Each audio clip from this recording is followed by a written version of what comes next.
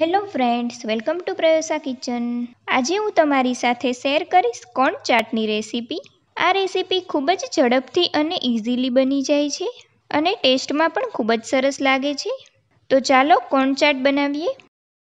Corn chaat બનાવવા માટે મેં અહીંયા પાણી ગરમ કરવા મૂક્યું હતું. પાણી ગરમ થઈ ગયું છે, તેમાં હાફ કપ મકાઈના દાણા એડ કરીએ. મકાઈના દાણાને બાફી લઈએ. મકાઈના દાણા મેં પહેલેથી જ મકાઈમાંથી અલગ કરીને રાખ્યા છે.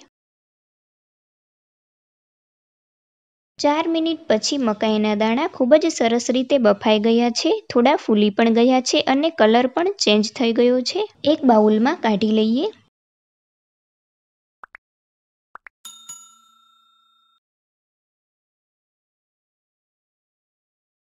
મેં મકાઈના દાણા એક બાઉલમાં લઈ લીધા છે. થોડી વાર ઠંડા થવા દઈએ. થોડી વાર પછી તેમાં સ્વાદ પ્રમાણે મીઠું અને one tablespoon cornflour add કરીએ. મિક્સ કરીએ. હાફ ટેબલ સ્પૂન પાણી એડ કરીએ, મિક્સ કરીએ.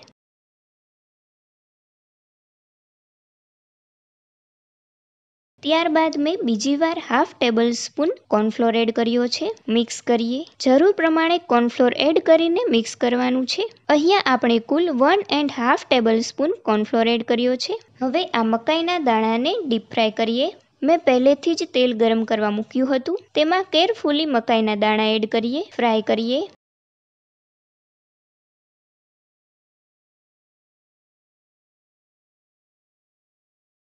થોડો કલર ચેન્જ થાય એટલે મકાઈના દાણા કાઢી લેવાના છે. કાઢી લઈએ.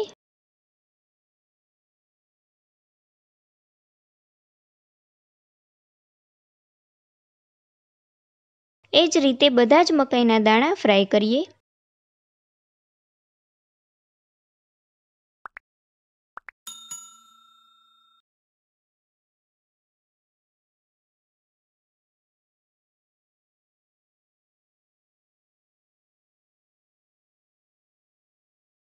બધા જ મકાઈના દાણા ફ્રાય થઈ ગયા છે. તેમાં હાફ ટીસ્પૂન લાલ મરચું પાવડર.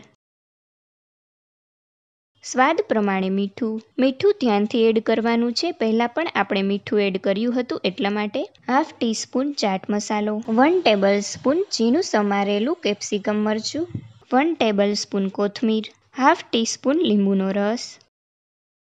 મિક્સ કરીએ. તમારે આમાં ટામેટું એડ કરવું હોય તો ઝીણું સમારીને એડ કરી શકાય છે. તો આપણી ગરમા ગરમ ચટપટી, ટેસ્ટી કોર્ન ચાટ રેડી છે. રેસીપી કેવી લાગી તે કોમેન્ટ બોક્સમાં જરૂરથી જણાવજો અને લાઇક કરવાનું બિલકુલ ના ભૂલતા. મારી ચેનલ પ્રયોસા કિચનને તમે હજી સુધી સબસ્ક્રાઇબ નથી કરી તો જરૂરથી અને ઝડપથી પ્રયોસા કિચન ચેનલને સબસ્ક્રાઇબ કરો. Thanks for watching